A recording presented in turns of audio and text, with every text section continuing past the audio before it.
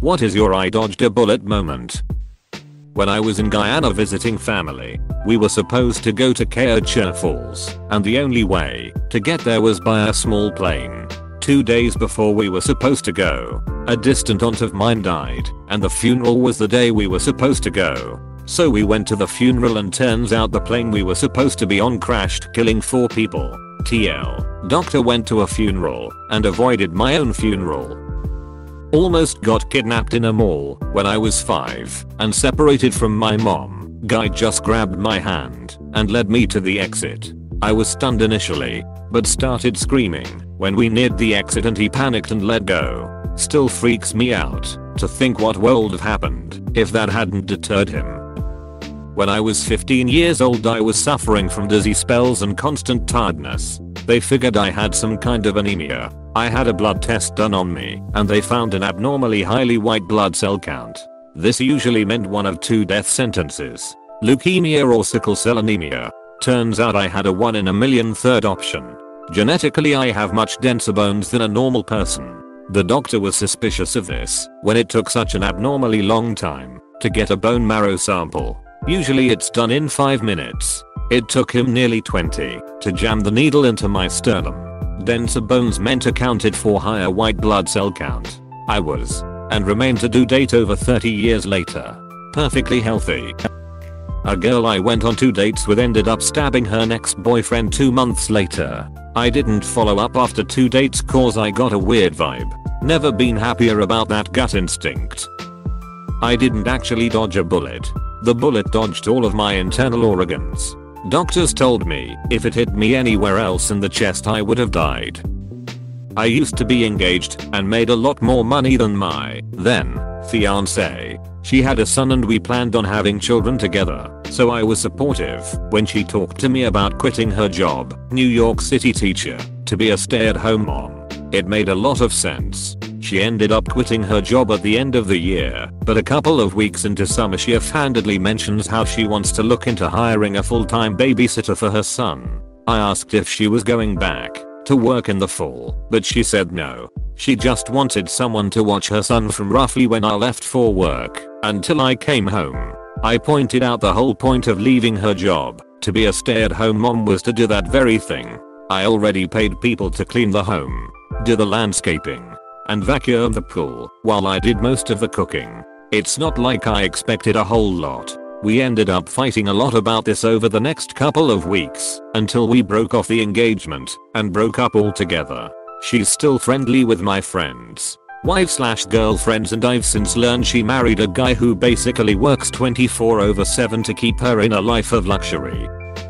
Under bombardment in Baghdad in 2004, a Chinese made Katyusha rocket landed 30 feet away and blew me up.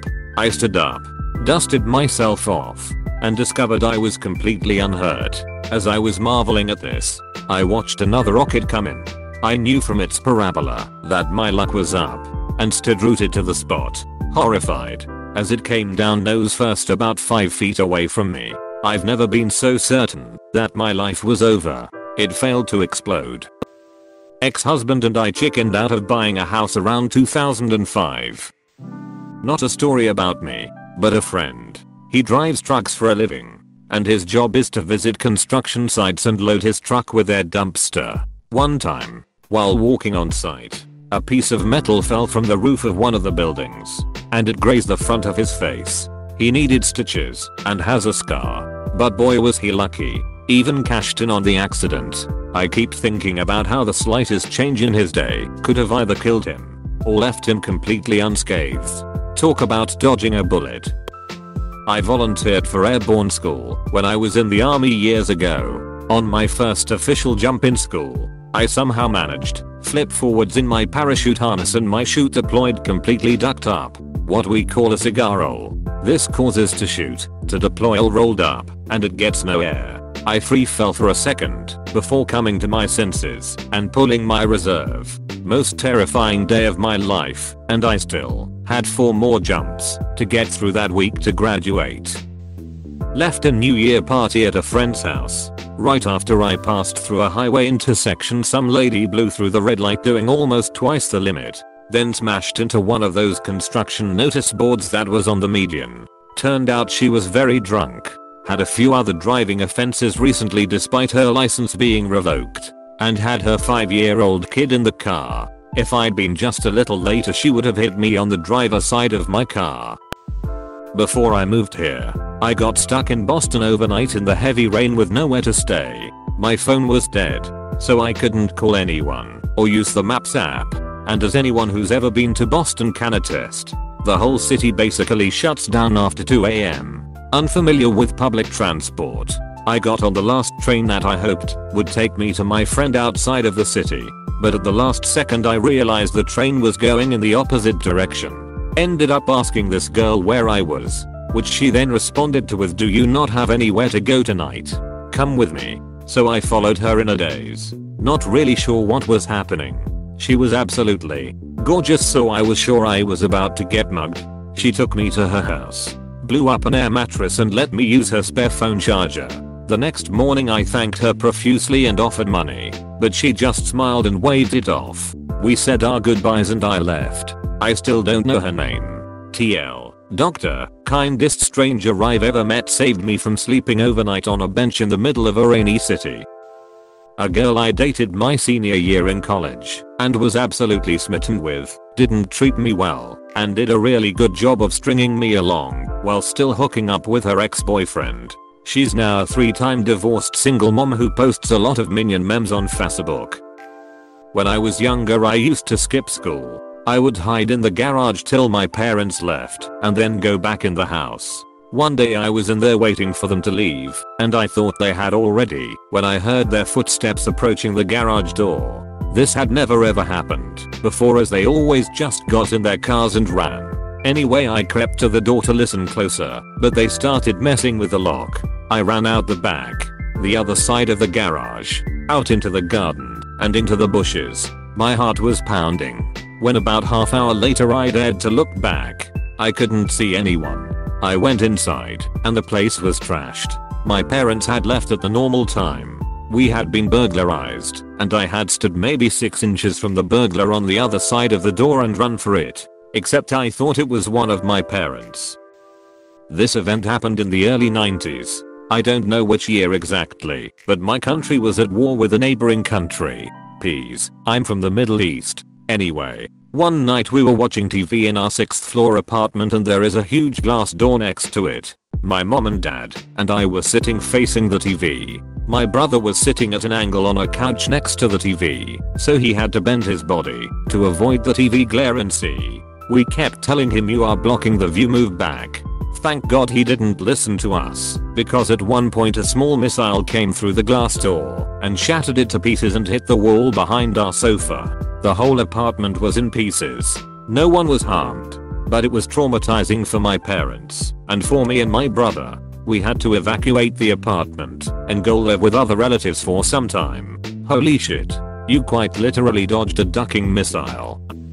As I would learn much later in life, when my mother and father were giving me up for adoption my aunt really wanted me. My bio mom told me years later she got really hunky vibes for her. So she said, no way and opted for a traditional, private, anonymous adoption. Years later, that aunt's daughter became a drug addict, so the aunt got custody of her grandkids. Mom got her shit together and wanted them back.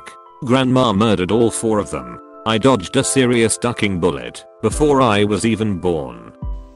I was born in Kuwait a year before the first Persian Gulf War. During the occupation of Kuwait me and my family were fleeing Kuwait through Iraq to Jordan on a bus. At some random checkpoint in the desert, a few Iraqi soldiers got into the bus hoping to get whatever valuables the passengers had. One of the soldiers decided to duck with my dad and pick one year old me up and walk away and tell the bus to keep moving. My dad crying begged and pleaded with them to hand me back because they didn't have anything else to give them. After a couple minutes the guy started laughing and handed me back to my dad and we hopped back on the bus. Not sure if this even belongs here. I was in a head-on crash in a Honda Prelude. The other drivers was drunk and was driving at 180 kilometers per hour. I was doing about 50 and swerving, obviously. Crushed ribs and broken feet. Weeks later when I was out of hospital I went to see the wreckage of my car and the assessor said that if I had not swerved as much as I did, the engine block would have been driven through my seat and killed me instantly. But if I had served any more than I did the other car would have impacted directly on the driver's door and gone through it, killing me instantly. He said I managed to find the 5 degree angle of impact where I would survive the accident. I was searching my pockets for the keys to the front door of the building I was living in at the time and a friend, who had given me a ride home, shouted at me from the car because I had forgotten something inside. The moment I got to the car, part of the stone facade of the building fell exactly where I had been a few seconds prior. My family were looking for houses for us to move into. We had two in mind and almost picked one but in the end, decided that we would go in the one we currently live in. Three years ago a large tree fell into what would have been my room on the house we decided against. My mum still gets out the photo of the partially destroyed house on special anecdotal occasions. Looking back, I didn't use condoms very much when I really should have. I once had sex with a seriously crazy girl who instructed me not to use a condom. I have neither herpes or a baby. I got really lucky. It was not too serious though. When I was in college and under 21, I was going to go out with some friends to a house party. While I was busy playing World of Warcraft and decided I would meet them later on where the party would be and skip pre-gaming. Well when they walked from my friend's house to the party they carried the beer with them. A undercover cop stopped them and cited them all. I ended up walking past all of them sitting on the curb while the cop was taking their info. I can say, World of Warcraft did one thing productive in my life. I was fostered as a teenager, and when I turned 15 I went to a sort of youth group for foster kids to hang out, learn life skills, that kind of thing. One day, we'd been out for a trip to the cinema I think, and because social services suck here, they dumped us off in town, rather than take us near our homes. I walked to a crossing, and because there's like no traffic I don't press the button for the lights and just start crossing it, which was odd, because it was 6pm and usually busy. I get as far as one foot off the pavement, and leaning forward to begin walking, when a thought strikes me, I should probably press the button just in case. I lean back, and reach to press it. Right as I do, an ambulance with no lights or siren blasts through at like 50 miles per hour. All this happened in like one second. Lean forward. Foot out. Hold on. Lean back. Ducking ambulance out to nowhere.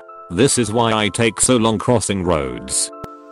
Being an ex-junkie leaves you with a lot of these stories. My personal worst is when I was spending some time with the dealers down the block from me. Partly to re-up and partly just BC we were friends. I started nodding out a little and started getting kind of a weird vibe. So I stumbled my way back down to the street to my house. Woke up the next morning to sex, lights all down the street. Apparently not too long after I'd left some tweaker tried to rob the place then started shooting. He and two of my buddies died.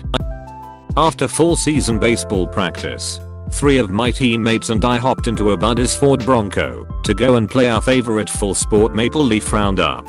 We would drive down Maple Avenue, aptly named, and cruise down the street looking for the largest leaf pile on the block. Then, if no one was coming, we would drive into the pilot breakneck speed, causing an explosion of leaves and awesomeness. On this particular Friday afternoon, we were about to demolish this huge pile, and we saw a lady backing her car out of the driveway across the street from the pile. So we sounded the abort warning and slowed down to make another pass. As we got right up next to the pile, a kid and his black lab jumped out of the leaf pile and onto their lawn. I still get goosebumps when I remember how close we all were to changing many lives in a matter of seconds. My buddy, who was driving, actually threw up in the parking lot when we got back to school. It is something I can never forget. Sif.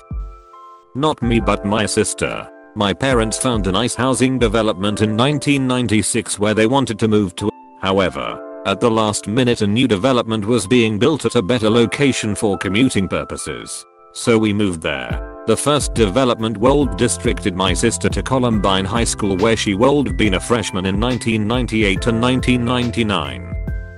I'm late, so no one will ever see it, but I'll say it anyway. My friend's mom was pregnant and on her way to Chernobyl in April 1986. She was refused a boarding pass to the plane because her doctor's note was from a naturopath, which they wouldn't accept. So no trip. I always thought that was crazy. My college roommate dodged a bullet fired by me. He took me out shooting for the first time in a field near our school, but didn't really show me proper gun safety or show me how this particular gun worked. He went to set a target back up, and I was messing with the rifle when it went off. It was probably aimed about 5 to 10 degrees away from him when it went off. I still get chills thinking about it, and it was 20 years ago. Edit. Just for clarification 1. I didn't mean to put all the blame on my friend. It was both of our faults in this scenario. 2. We were firing a lever action rifle. So while he was setting up the target I chambered another round by working the lever. And then for whatever reason I wanted to let the hammer back down. So I held the hammer with my thumb and pulled the trigger. The hammer slipped and still had enough travel in it to fire the round. Somebody was trying to rob me for my phone when I was a freshman in high school. So I took off running and he shot at me. And when I went home I noticed there was a bullet hole in my book bag. Thank goodness I was a great student because those books saved my life. Things began to go south with an ex of mine. It was a very subdued and slow breakup. And towards the end she admitted she initially tried to trick me into getting her pregnant so I'd stay. Yep. Seriously. She moved on quickly and began dating another guy. He got her pregnant within like 3 months. Good for them. 10 years old. A friend and I talked to a man about a local kid that is missing slash runaway in our apartment complex. My friend goes home. I talk a while more. Give my home phone number. This is around 1982. Johnny calls my house later. My mom talks a bit. Confused. My parents later tell me if Johnny calls back to agree to meet him behind a restaurant that backs up to our apt complex. He calls. Arrange to meet. Johnny asks if I want to take a ride in his new car, old VW bug with template. My dad, actual tough guy, comes out from behind the fence, tells me to go home. Dad was going to kick ass, but Johnny was a pathetic whimpering puss. So sad just scared him. Called cops. Nothing they could do. No crime committed. Fast forward a few weeks. Johnny is on the news getting arrested for kidnapping a 10 year old boy that looks a lot like me. Sweet. Please subscribe and leave a like if you enjoyed this video and if you want to see more of Reddit Universe.